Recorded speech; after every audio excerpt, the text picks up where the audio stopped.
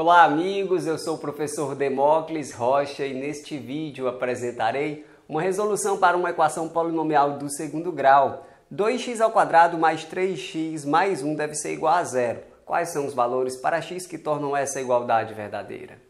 Se você apoia esta iniciativa, deixe seu like. Se quiser ficar sabendo dos nossos próximos vídeos, inscreva-se no canal e acione o sininho das notificações. Vamos lá!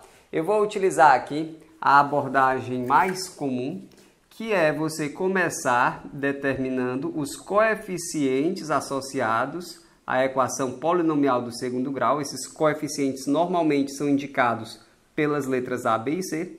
Depois a gente vai calcular o delta, o discriminante associado à equação e finalmente a gente vai utilizar a fórmula resolutiva, também conhecida como fórmula de Bhaskara, para de fato encontrar as soluções, ok? O coeficiente de x ao quadrado, neste caso, vale 2, que a gente indica pela letra A. O coeficiente de x, neste caso, vale 3, que a gente indica pela letra B.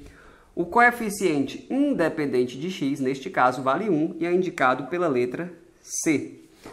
Bom, conhecendo os coeficientes associados à equação polinomial do segundo grau, a gente pode em seguida calcular o valor do delta, o discriminante associado à equação do segundo grau.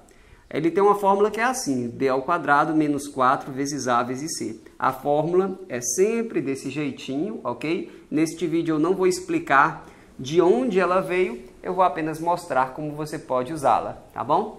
Então vamos ver como é que fica neste caso. A gente começa aqui com b ao quadrado.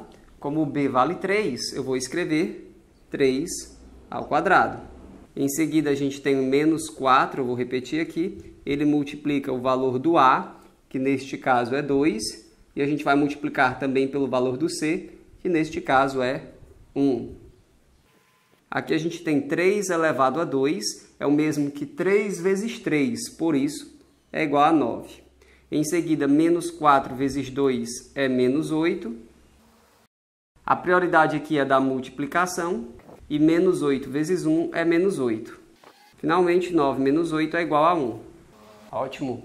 Então, neste caso, o valor do delta é 1. Mas e aí, qual é o próximo passo, professor? É utilizar a fórmula resolutiva, também conhecida como fórmula de Bhaskara. A gente coloca um traço grande de fração assim. Acima dele eu coloco aqui o oposto do valor do B. Uma vez eu faço a continha com mais, outra vez eu faço a continha com menos. Aqui eu tenho a raiz quadrada do delta, por isso que a gente calculou o delta aqui primeiro. E no denominador aparece o dobro do valor do A. Vamos ver como é que fica neste caso. Aqui está nosso traço grande de fração, oposto do valor do B. Esse menos B a gente entende como o oposto do valor do B. O oposto de 3 é menos 3, aqui está. Uma vez eu faço a conta com mais, outra vez com menos. Em seguida eu vou colocar aqui a raiz quadrada do delta. A raiz quadrada do número 1 é 1 mesmo, porque 1 vezes 1 é 1, e 1 é um número positivo. Então está aqui. No denominador escrevo o dobro do valor do A, o dobro de 2 é 4, aqui está. Ótimo. Como o delta foi positivo, a gente vai ter duas soluções diferentes. Uma delas que eu vou chamar de x1 e a outra que eu vou chamar de x2, desse jeitinho. Então vamos ver como é que fica, né? Vou colocar aqui um traço de fração. Agora acompanhe comigo com muita calma menos 3 mais 1, repetindo, menos 3 mais 1 resulta em menos 2, bem aqui, e o denominador é 4. Agora vamos fazer a continha com o sinal de menos. Deixa eu colocar um traço aqui de fração. Veja só, menos 3 menos 1, repetindo, menos 3 menos 1 é igual a menos 4, aqui está, e o denominador vale 4. Ótimo! Então já encontramos as duas soluções e nós já estamos prontos para guardá-las dentro do conjunto solução. Veja só. Aqui nós temos essa solução, menos 4 sobre 4. Lembre-se que toda fração corresponde a uma divisão e menos 4 dividido por 4 é igual a menos 1. Eu vou anotar bem aqui. Eu estou dizendo para você que menos 4 sobre 4 é igual a menos 1. A gente também tem menos 2 sobre 4. Esse menos eu posso colocar na frente da fração e simplificando por 2, 2 dividido por 2 é 1, 4 dividido por 2 é 2, e eu estou dizendo para você que menos 2 sobre 4 é igual a menos 1 meio. Apenas eu coloquei aqui na forma simplificada.